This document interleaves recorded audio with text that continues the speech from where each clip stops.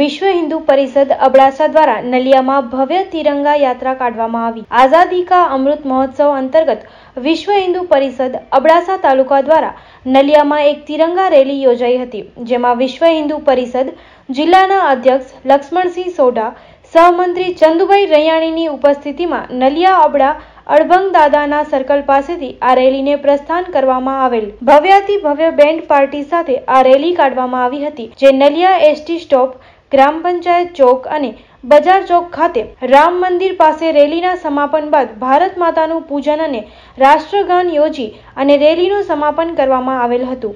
આ રેલીમાં અબડાસાના ઉપેન્દ્રસિંહ જાડેજા, જયદીપસિંહ જાડેજા, ભરતસિંહ ઝાલા, નીતિનભાઈ દરજી, નરપાલસિંહ જાડેજા, સંતોષ ગોસ્વામી, જયદીપ ગોસ્વામી, શ્યામ છાંટબાર, કિશન દરજી, રમેશ પરમાર સહિતના યુવાનો સાથે અબડાસાના ગામો કોઠારા, તેરા, બીટા, વાયોર, હોથીવાડ ઝાડુરા સહિતના આજુબાજુના ગામડામાંથી વિશ્વ હિન્દુ પરિષદ સહિત હિન્દુ યુવાનો ઉપસ્થિત રહ્યા હતા.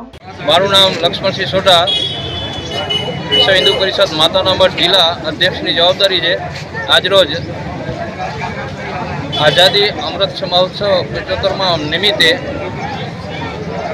નલિયા પ્રખંડ મધ્યે સમસ્ત કાર્યકરો દ્વારા તિરંગા યાત્રાનું આયોજન કરવામાં આવ્યું, જે એકદમ ભવ્ય અને સારી રીતે દાદા અબડાના સર્કલથી બજાર ચોક મધ્ય સુધી બહોળી સંખ્યામાં બધા રાષ્ટ્રપ્રેમી જનતા ઉપસ્થિત રહ્યા અને ભારત માતાનું પૂજન અને ત્યારબાદ રાષ્ટ્રીય ગીત ગાઈ કાર્યક્રમ અહીંયા સંપૂર્ણ કરવામાં આવ્યો.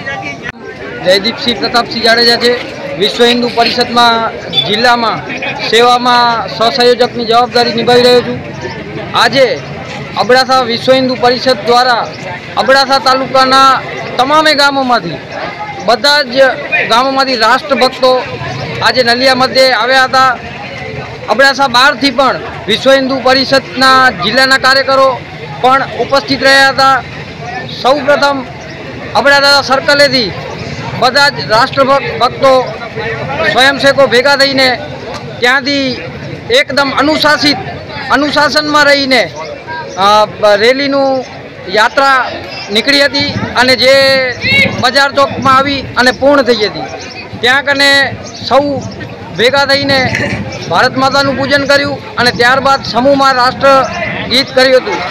આ સંગીતમય સંગીતમય યાત્રા રહી હતી અને જે અદ્ભુત અને અવિશ અવિશ્વસનીય રહી હતી અને જેમાં દરેક દરેક લોકોનો ખૂબ જ સાથ સહકાર મળ્યો હતો અને કાર્યક્રમ બધાની મહેનતથી સફળ થયો હતો नमस्कार मैडम हम नगर निगम से आए हैं हमारा सब टैक्स चुकता है आपके घर के बर्तन गमले या कूलर में कहीं कोई मच्छर तो पैदा नहीं हो रहे हैं क्यों हमारा घर कूड़ा घर है क्या अब आप जाइए मेरी मुन्नी को बुखार है। कैसा बुखार? क्या मैं देख सकती हूँ? दो तीन दिन से बुखार है। डॉक्टर कहते हैं वायरल फीवर है। हो सकता है ये एडिस मच्छर से फैलने वाले डेंगू या चिकनगुनिया बुखार हो। अरे शुभ शुभ बोलो भाई। शुभ अशुभ क्या?